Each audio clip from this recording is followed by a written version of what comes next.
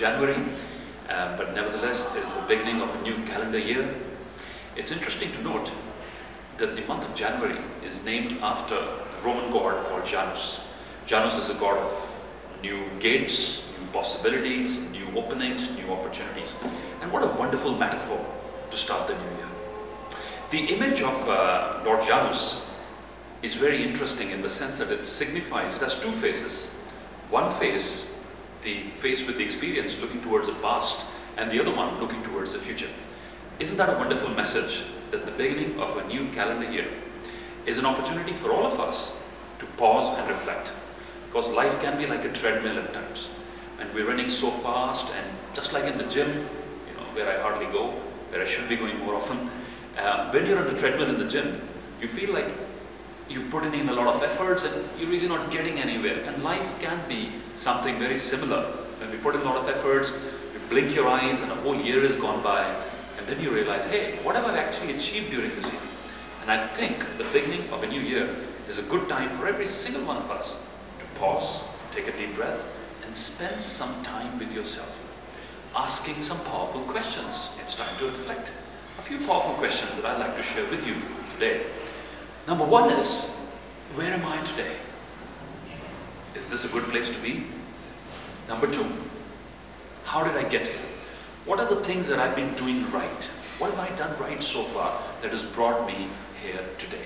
And if the answer to question number one, which is where am I today, if the answer is it's a good place to be in, I'm quite happy and satisfied and proud of where I am, it's time to pat yourself on the back and acknowledge your efforts. You've got to acknowledge your efforts. So question number one, where am I today?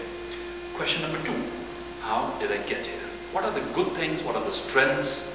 What are the uh, things that I'm doing right so far that have brought me here today? Question number three, very powerful.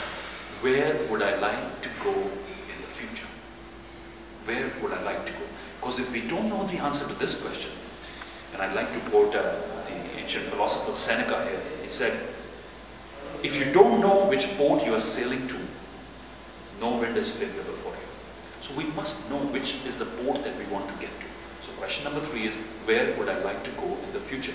And question number four, the most powerful question is, how do I plan to get there? How do I plan to get there? What do I, what do I need to do starting today in order to get to my new destinations? So the beginning of a new year, this wonderful month of January, is the time to pause, reflect, think, strategize, and then take ownership. Create a plan, take ownership. I feel nothing can happen unless individuals start taking ownership.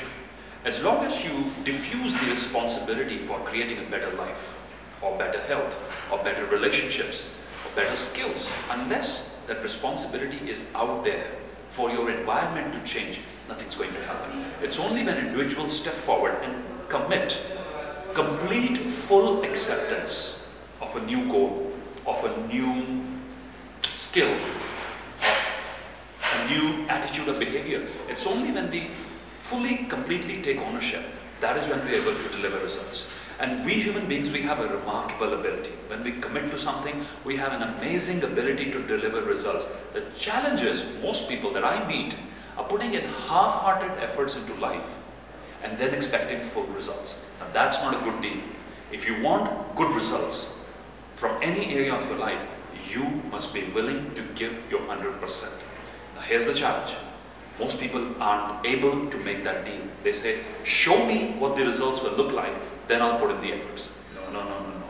Well, it works in the opposite way.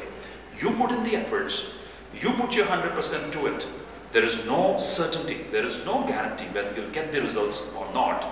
But nothing can happen until you are able to deal with this uncertainty. And this uncertainty is, can I commit today, giving my very best to life, without expecting certain results? If you can live your life like that, not in denial, not in postponing, making the best of every single moment right now, and using all resources that are available to you within this moment, magic can begin to happen.